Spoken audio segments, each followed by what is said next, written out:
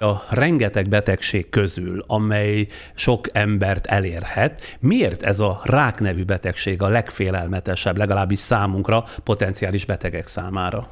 Talán túlságosan misztikus. Mi sokkal többet tudunk az agyvérzésről, a szívinfarktusról, a cukorbetegségről rengeteget tudunk, sok jó gyógyszerünk van kezelésére.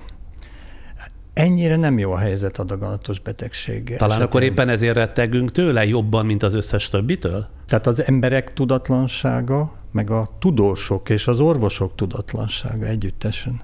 Ugye azt tudjuk, hogy sokféle daganattípus, sokféle rák van, de miért rák néven foglaljuk össze őket? Azaz mi a közös bennük, azt kérdezem. A rosszintatú daganatoknak egyetlen közös vonása van, az pedig az áttétképző képesség. És ezért bármilyen típusú ez a rosszinatú daganat, lehet nyirok, vérképző szervi, lágyrész vagy hámeredetű, mindegyikben ugyanaz a biológiai sajátosság manifestálódik, ez pedig az áttétképző képesség. És mire vezethetők vissza a különbségek? Tehát mitől függ, hogy az embernek mondjuk tüdőrákja, vastagbérrákja vagy agydaganata lesz?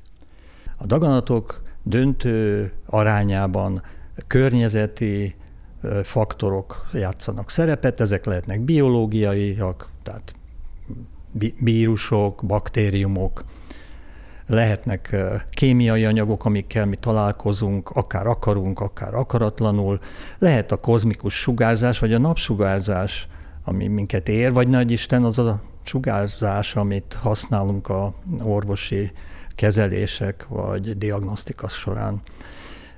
Na most ezek a különböző típusú okok, kiváltó okok azért különböző típusú daganatokat hoznak létre.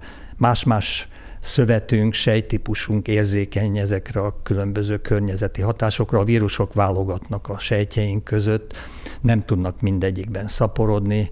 A baktériumok, amelyek daganatot csinálnak, azok megfelelő, jól ismert úton jutnak a szervezetbe, és akkor ott tudnak csak daganatot kiváltani, és más szövetünkben nem képesek rá. Arra van egyszerű magyarázata, hogy miért halálos betegség a rák?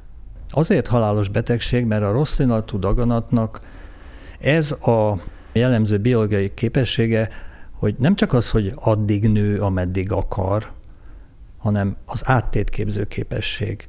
És ez az áttétképző képesség azt jelenti, hogy más szerveinket is elfoglalja a betegség.